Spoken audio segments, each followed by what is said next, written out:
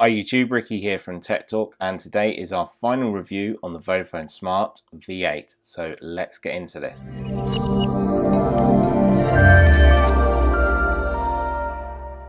So first of all, I just want to talk about your device and what you're going to find around it. So you have your selfie camera, which is an 8 megapixel front facing camera and it is a wide angled lens so everyone can get in the shot. There is a little sensor inside there and that is an LED notification sensor. So that will let you know when you have notifications and will help when charging. So there is no home button on this. There is all the software touch sensitive keys. Looking at the left hand side of the device, you're going to see your SIM card and SD card tray there, which a tool is provided in the box. Also, you're going to find your power and sleep wake button. Turning down to the bottom of your device, you're going to find your speaker grill. The one let down for this device, I believe, is that it's not using USB-C. It's actually using micro USB still. Next to that, you're going to find your microphone as well. Right hand side is a little bit lonely. All you're going to get on this side is your volume rocker, so you're up and down, and also can be used to quick launch the camera and to take photographs as well. Looking at the top, you're going to find a microphone, so it's going to pick up that audio for when recording videos. And also you've got your 3.5 jack, which headphones are provided in the box. Turning around to the back of this device, this is where it starts to look a little bit more interesting. As you can see on the top and the bottom, you have got a plastic-like material. And this is to let in radio signals, your mobile network signals, and Wi-Fi signals. As on the back, it is a brushed aluminum design. No signals can actually penetrate the device. So on the back here, you've got a 16 megapixel camera, which records in full HD. You also have a fingerprint sensor sensor, inlaid Vodafone logo there. It does look really nice in this brushed aluminum design here. Next to the camera, you do also have a dual flash. So while we're on the back of the device, I just want to talk about the design and the build quality of the Vodafone Smart V8. I think this year they've really stepped up and changed.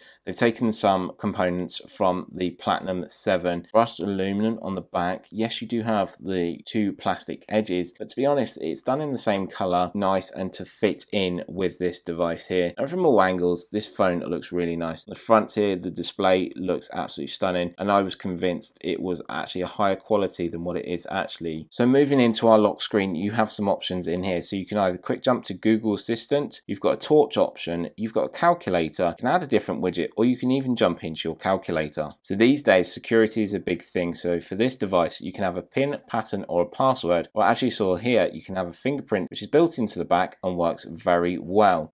So if I just hold my finger in that position correctly, there we go. You saw it was held correctly. It's getting used to finding the fingerprint sensor on the back. It is okay to start off with. Please register the right portion of your finger as well for it to work. It'll ask for the pattern that I've designed. Draw your pattern correctly and it will unlock your device here for you. So I've got my iPhone here. So let's test out these Touch ID sensors. Three, two, one. There we go.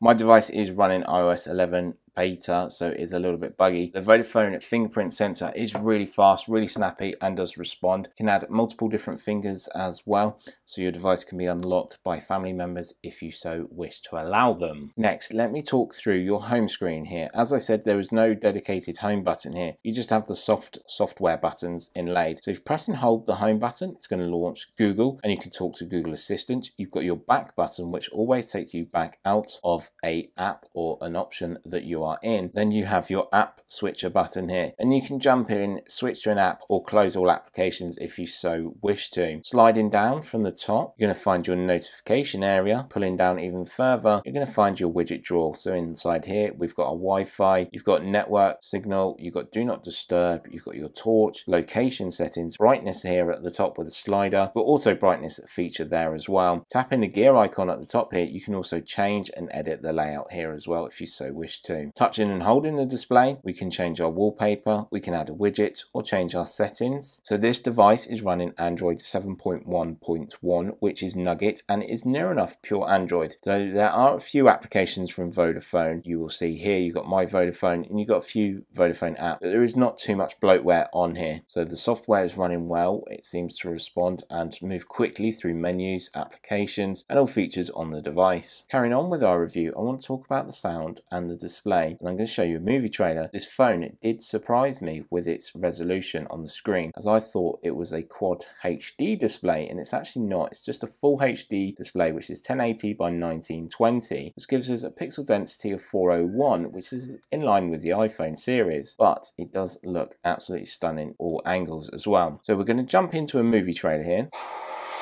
Computer, how do I put the Joker in Arkham Asylum? Quickest route, no freeways. Computer, do you hear me? Hello, Master Bruce. I've just taken away your computer privileges. Gasp. Sir, it's time for you to stop this unhealthy behavior. You can't spend the rest of your life alone, dressed in black, and staying up all night. Good night, Alfred. Sir, it's morning. Yes. You need to take responsibility for your life, and it starts by raising your son. I'm sorry. I literally have no idea what you're talking about. The young orphan you adopted at the gala. I thought I was being sarcastic. Hello, secret camera. As you see from that movie trailer there, which is quite hilarious, so go and check Batman Lego Movie out. The screen holds up very well and the sound performs very well as well, considering it is a sideward facing. Just make sure that you do not cover it up, and if you want a better sound quality, to use the 3.5 headphone jack that we see up here at the top. Next, I want to show you how well this performs on the Vodafone network. So we've got an application here called speedtest.net, which you can go and get from the Google Play Store. Please remember that your network will change depending on your area, time of day, and your device that you do use. We scored quite a reasonable download speed here of 10 megabytes and an upload speed of just under 1 megabyte, which could have been slightly better. The next application that I'm going to run here is Geekbench. Our results are in, and as you can see here, our single core score 680, our multi-core score 2615. Just comparing that now to the Platinum 7, which scored 1533 for the single core and 5297 for the multi-core. There is quite a difference there, but the spec was a lot higher. Ultra 7, on the other hand, scored 779 in the single core score and 3061 in the multi-core score. Next, I want to just go through some of the specs for you of this great new device from Vodafone. So on pay as you go, it's only going to cost you 160 pounds. And believe me, from the specs I'm going to read off, that is a lot of specs for your money. On contract, you can get it as low as 19 pounds per month, and you will get 500 minutes, unlimited text, and 500 megabytes of data. It was released in June of 2017. It comes in this black model. It weighs 166 grams in thickness. It comes in at 7.9 millimeters thick. Here, it just looks great from every angle. As you can see here, you've got the two polished silver edges that brushed aluminum through the middle. This device comes in a 32 gigabyte option with the option of an SD card, which I've showed here and I've showed in a previous video that you can go and check out. This model will only take up to 128 gigabytes of SD card storage though, so please bear that in mind. This device has 3 gigabytes of RAM, so you're going to be able to run every application that you can and available in the Google Play Store. Battery will last you all day long as well as it has a whopping 3000 milliamp hour battery and believe me, with some of the gaming that I've been testing on this device, it has been lasting up very well. The SIM card for this device is a nano SIM, which is the smallest one. The display is actually covered in a Dragontrail glass, so it is well protected. The chip that you'll find in this device is a Snapdragon 435 chip. It is running an octa-core processor running at 1.4 gigahertz per core. It's a Cortex A53, and the GPU is an Adreno 505. So finally, my personal thoughts and my key features for this device. First of all is its display. Yes, it is only a full HD display, but it doesn't look like it. When you're playing games, when you're checking out your photographs, or even when you're just using it as a standard application such as Facebook or Twitter, everything just seems to pop out and it looks absolutely stunning. The colors look absolutely superb. As you can see here, we've got multiple different colors and it just seems to pop out of the display. The text also stands out very clearly and nice and easy for me to read. The other key feature that I pulled off this device was the camera.